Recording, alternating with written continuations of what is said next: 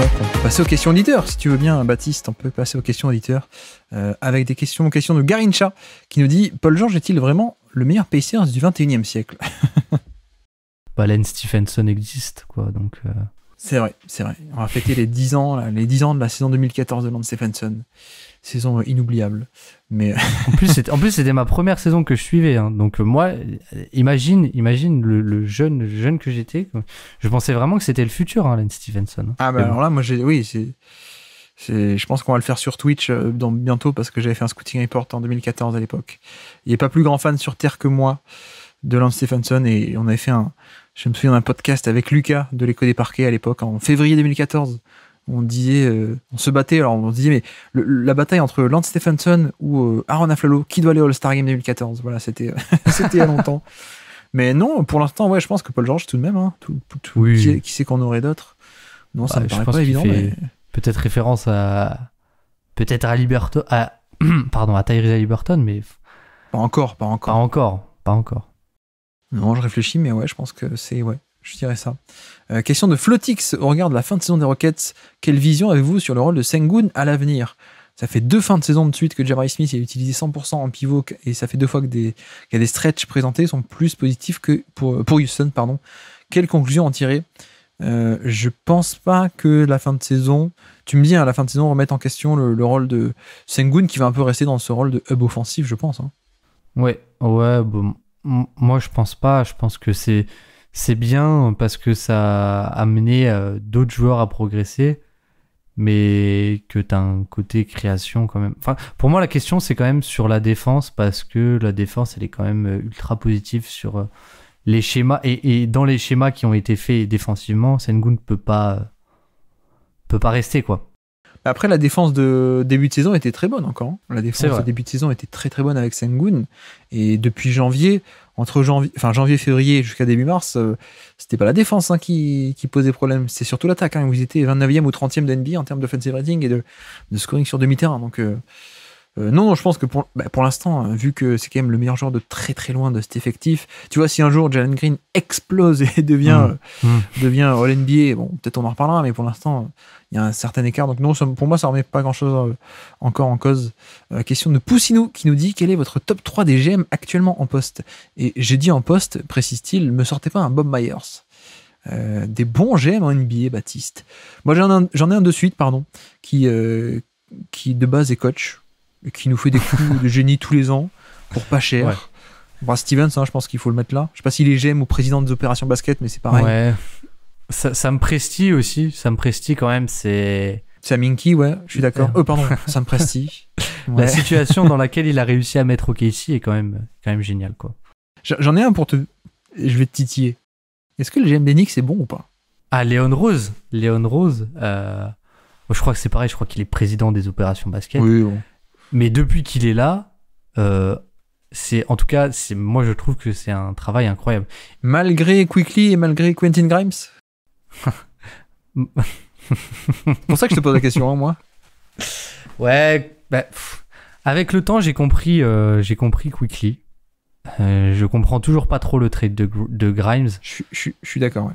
Pour, euh, en fait, t'avais un joueur de playoff pour potentiellement deux joueurs qui vont pas forcément être en playoff, euh, enfin être jouables en playoff. Mais je trouve que non, mais c'est là où c'est incroyable, Léon Rose qu'il a fait, c'est financièrement, enfin en termes de contrat, c'est incroyable. Isaiah Hartenstein, Jalen Bronson, euh, je sais plus qui a d'autres, mais Du- euh, Juice, Miles McBride, il a il a encore il a signé une prolongation de 4 ans au début Ouais. de saison. Hein, je tiens à te rappeler, et il va gagner 3 millions la saison. Oh l'arnaque. Il, c'est, il va- euh, jouer 45 minutes en playoff, il, il va jouer 3 millions, il va gagner 3 millions la saison.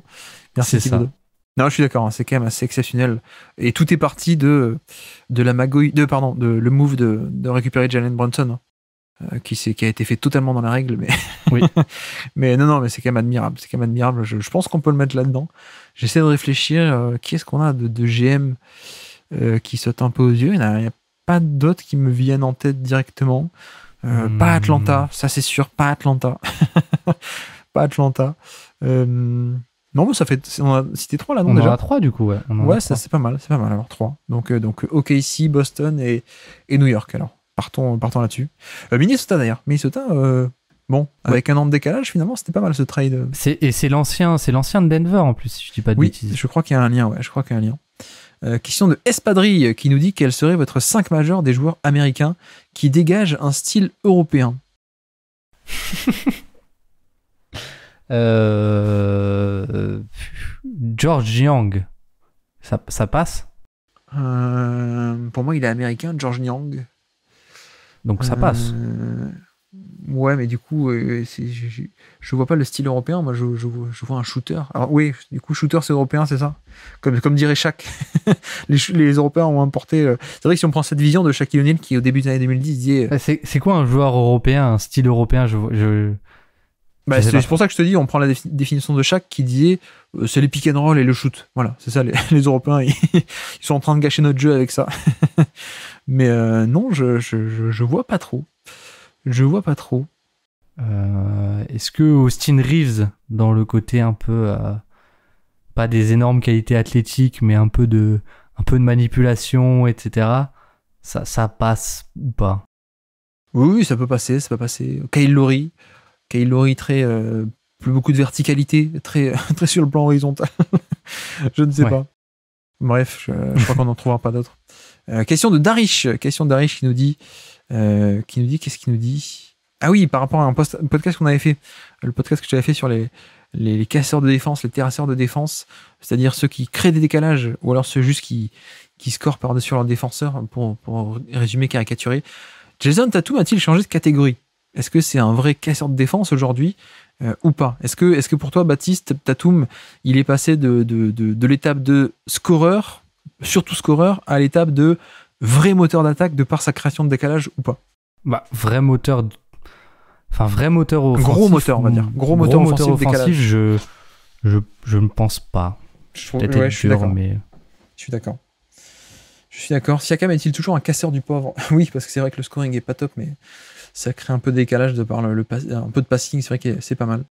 Euh, Voyez-vous Booker aujourd'hui comme un casseur ou les Suns sont uniquement des terrasseurs? Booker a un profil un peu hybride. Oui. Euh, je trouve. Oui, il peut faire un peu des deux justement. C'est un peu l'histoire de Un cette peu, saison, c'est qu'on ouais. voit que il peut faire un peu des deux. Donc euh, donc c'est bien. Enfin, en tout cas, il est, il est plus comme avant, tu sais, où il était vraiment le. Comment dire Chris Paul était le chef d'orchestre et, et, et Booker était son scoreur, grosso modo.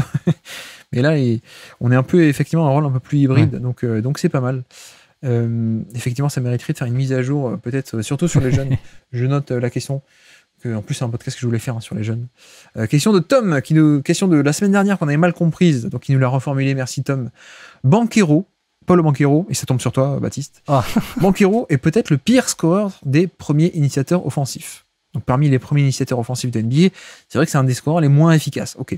Mais, dit Tom, il apporte énormément de défense dans un rôle où la défense est peu présente. Est-ce que c'est pas mieux dans le contexte d'Orlando plutôt est-ce que c'est pas, ce n'est pas mieux dans le contexte d'Orlando plutôt d'avoir un bon premier initiateur offensif et pire défenseur parmi les premiers? Alors, j'ai toujours pas compris, Tom, la question. En gros, est-ce que, est-ce Attends. que, est-ce que ce serait bien, ce serait mieux d'avoir un scoreur efficace, quitte à avoir un défenseur moins bon dans le contexte d'Or- d'Orlando? Ah, donc, attends, je, je résume. Banquero est peu efficace, mais pas mal défensivement. Est-ce que c'est pas mieux ça plutôt que avoir un- quelqu'un qui est mauvais défenseur, mais, mais, mais un bon Ouais. initiateur hein, efficace voilà.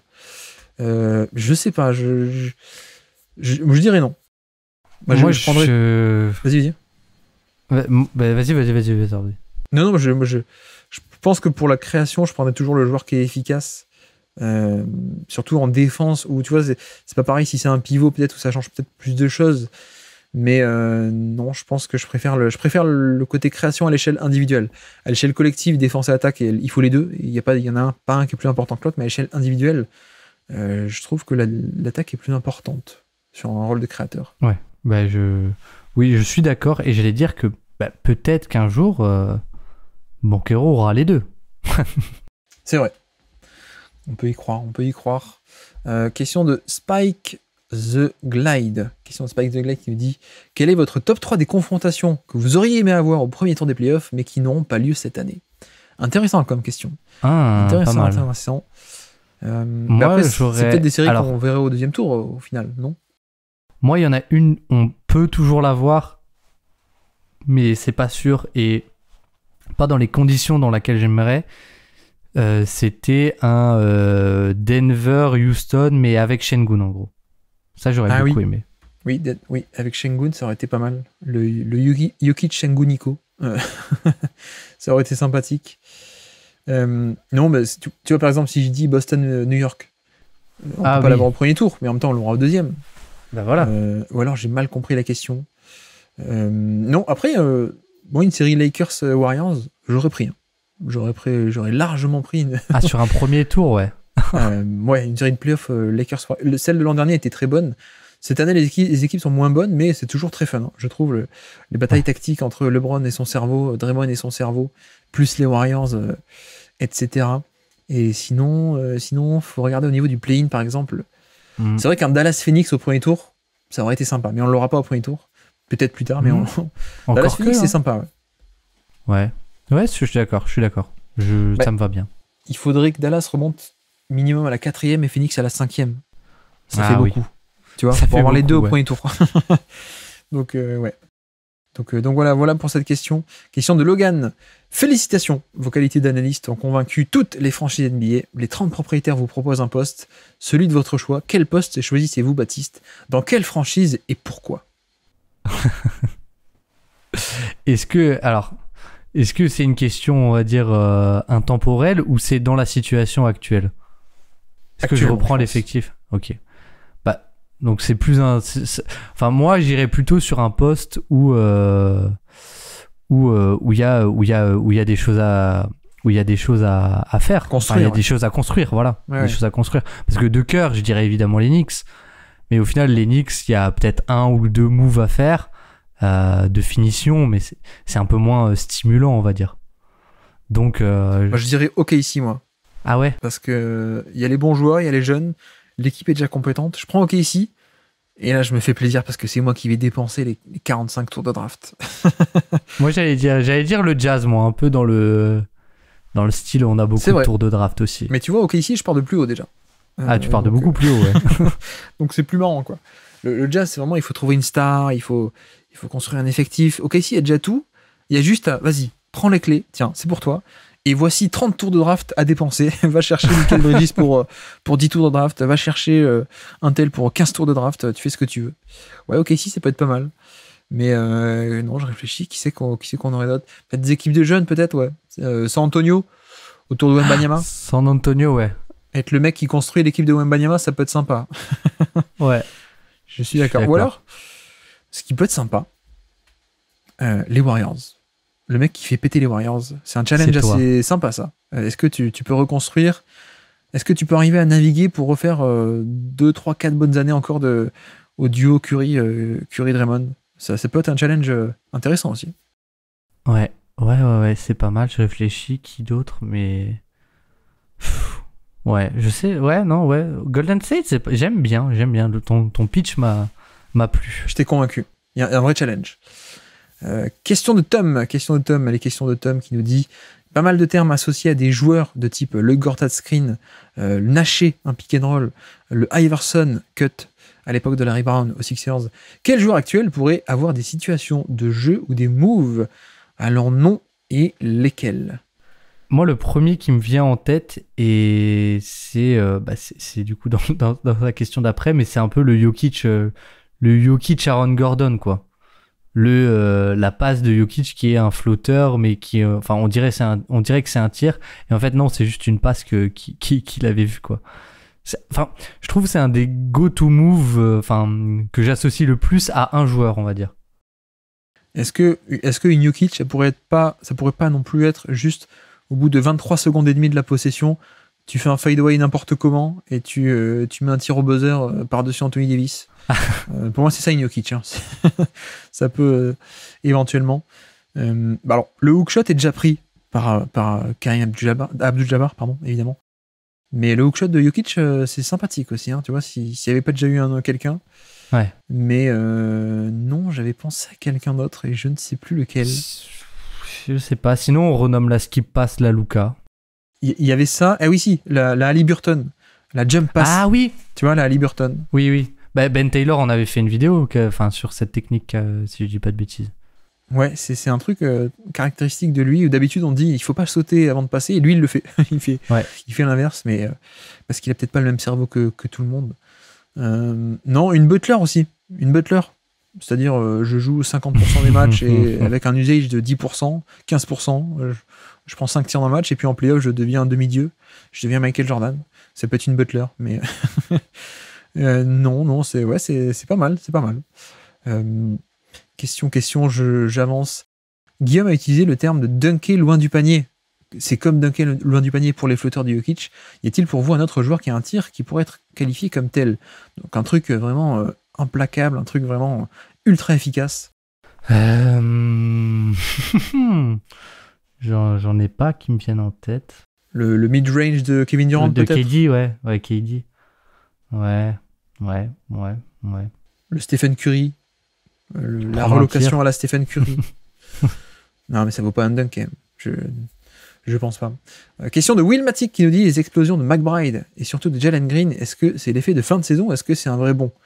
Euh, Bon, Jalen Green, on a déjà parlé. McBride, je pense c'est la défense. hein. C'est le fait que Tom Thibodeau, il a vu, il a vu Bogdanovic qui shoot bien, qui score bien, mais qui sait pas défendre. Il a vu McBride, il a dit non, voilà, je vais faire jouer McBride. on est d'accord, c'est ça. Ouais, Et puis en plus, McBride est à euh, 40-45% depuis qu'il est dans le 5 Enfin, depuis qu'il a da- da- Oui. sa place dans la rotation à 45% à 3 points. Donc c'est pour un profil d'un non-shooter presque de base. Donc c'est c'est sur un, un- un volume conséquent en plus. Donc. Il met des ISO pull-up sur la tête de Draymond Green maintenant, McBride, euh, apparemment. Bon, voilà. Euh, Wembanyama, plutôt un gros lapin de Pâques ou plein de petits œufs de Pâques Euh, La question de Will Matt. Merci pour la question troll. Ça faisait longtemps qu'on n'a pas eu une question troll sur Wembanyama. Euh, on parle beaucoup de bons joueurs et de bonnes équipes, mais euh, pour vous, c'est qui les plus nuls de la ligue? Franchise player ou star qui rate le plus sa saison et l'équipe sans fond de jeu en mode poulet sans tête? Waouh. Qui sont les plus mauvais de NBA En équipe. Alors moi j'ai un coach et j'ai en- et j'ai une équipe. Mais en coach, je dirais Chauncey Billups. Oui, c'est pas un coach, euh, John C. Billups, c'est un, C'est un coach, c'est un ancien joueur. c'est un ancien joueur. Non, euh, oui, Oui. Billups, ouais. Euh, les Wizards, hein, Wizards, c'est Ouais, quand, même voilà. pas- En équipe, j'aurais les Wizards. Ouais. c'est quand même pas top. Après, à quel point les ambitions qu'on leur prêtait étaient légitimes ou pas en début de saison? Euh, Je ne sais pas. Non, mais c'est vrai que dans, dans le mauvais, ouais, dans le mauvais, il y a soit des manques de talent, soit des, euh, soit des blessés, quoi. Tu vois, Memphis, bon, bah, la saison est nulle, mais, mais voilà, quoi. Toronto, bah, ils ont échangé tout le monde, euh, ou presque. Donc, euh, donc ça paraît normal. Mm, mm. Euh, question de Dismaël.